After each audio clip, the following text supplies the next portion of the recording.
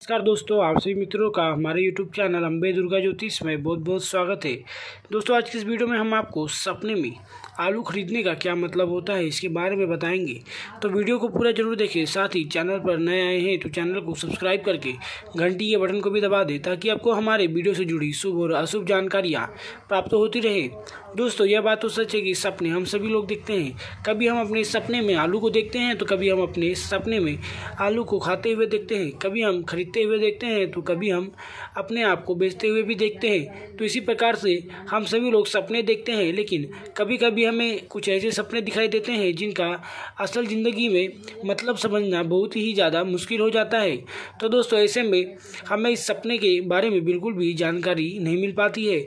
तो दोस्तों, इसी प्रकार से अगर आपने भी अपने सपने में आलू को खरीदते हुए देखा है तो आपको इस सपने का मतलब ज़रूर जानना चाहिए। दोस्तों, सपने में आलू को खरीदना किसी भी प्रकार से अशुभ सपना नहीं माना जाता है।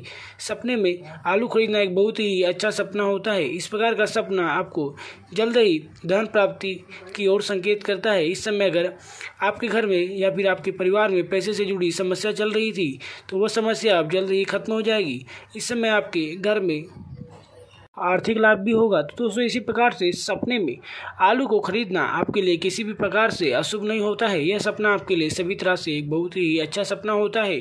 तो दोस्तों, अगर आपको ये वीडियो पसंद आई तो वीडियो को लाइक करें, शेयर करें और हमारे यूट्यूब चैनल को सब्सक्राइब करना ना भूलें। मिलते हैं दोस्तों अगली वीडियो में, तब तक के लिए धन्यवाद।